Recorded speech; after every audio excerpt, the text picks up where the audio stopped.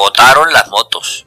Como era de esperarse, los millones de colombianos que se transportan en moto se rebotaron ayer. Desde hace varios meses venían gritando aquí y allá que el SOAT para poder transitar por calles y carreteras de Colombia lo habían estado dejando de vender sin importarle a nadie que en Colombia el que no lo vendan no es razón para no llevarlo o para manejar la moto sin cargarlo. No los oyeron, tuvieron que rebotarse.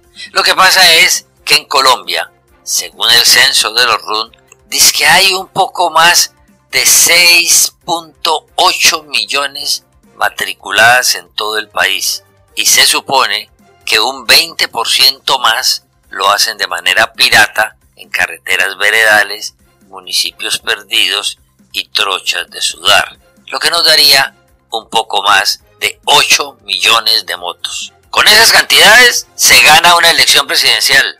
Con esos 8 millones de motos se monta una revolución y se impone la verdad.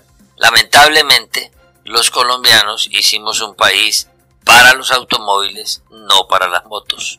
Las calles y carreteras de cualquier municipio de ese país no están planificadas para las motos y por eso toda moto termina siendo una intrusa en la vía pública o en la tranquilidad del ciudadano que tiene mentalidad de carro de cuatro ruedas.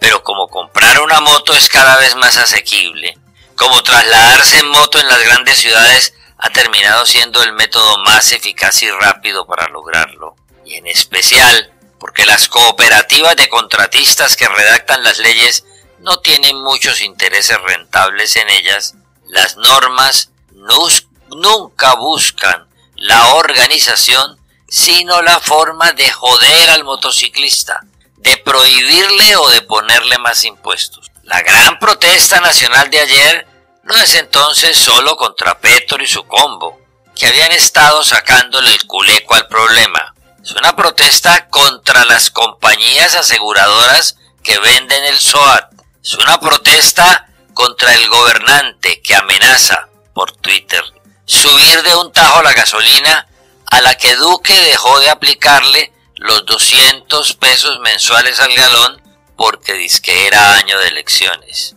Es una protesta porque las bodeguitas petristas y uribistas se pusieron de acuerdo en amenazar por redes que el SOAT valdría para el 2023 más de un millón por moto. Es la rebelión de las motos.